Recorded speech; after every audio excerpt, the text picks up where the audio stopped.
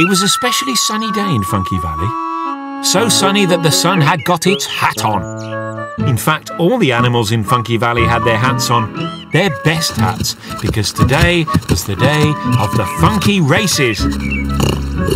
I suppose Horatio will win again, snorted Porker. Porker always said this, because Horatio always won. Why does it always have to be Horatio? said Gertrude. Because Horatio is the only horse in Funky Valley, said Porker. Gertrude thought it was someone else's turn to win. We need some competition, like another horse, said Buster. That's right, Horatio's getting too big for his horseshoes, said Porker. I'll have a go, said Shelly. Um, um, um, You? Ha ha! You're the slowest animal in Funky Valley. Where can we find another horse? Wait a minute, come with me. Ah, what about this? What is it?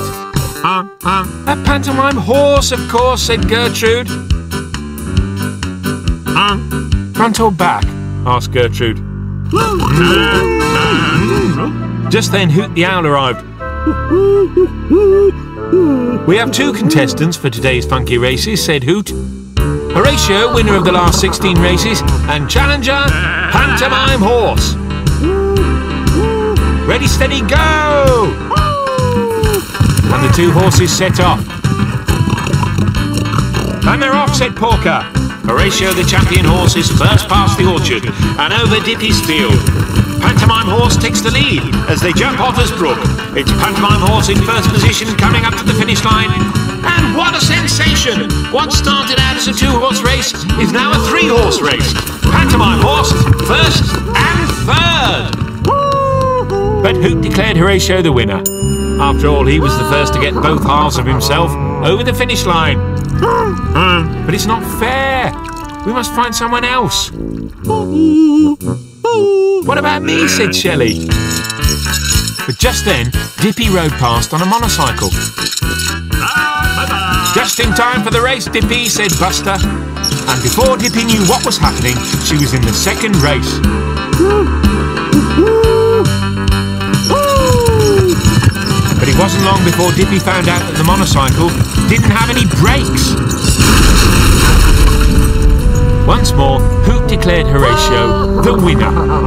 And the other animals wondered if they would ever find someone fast enough to beat Horatio. Let me try, said Shelly. Oh, well, if you want to make a fool of yourself, said Gertrude. Horatio got ready for the easiest race of his life. After crossing the orchard, he looked back. Shelly had only just left the starting post. It was time for an apple. Or three. After crossing Dippy's field, he looked back. Shelly was miles behind. It was time for a munch of grass. After leaping Otter's Brook, he looked back. Shelly was nowhere to be seen. It was time for a drink. After all the apples, grass and water, Horatio yawned. It was time for a little rest under the old oak tree. Sometime later, Shelly walked slowly past the horse, but Horatio slept on.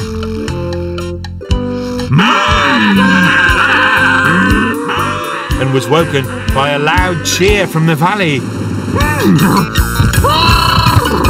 Oh no, he said, as he made a dash for the finishing line. But he was just too late. So that was the day Shelly won the funky races, and the hungry horse ate humble pie.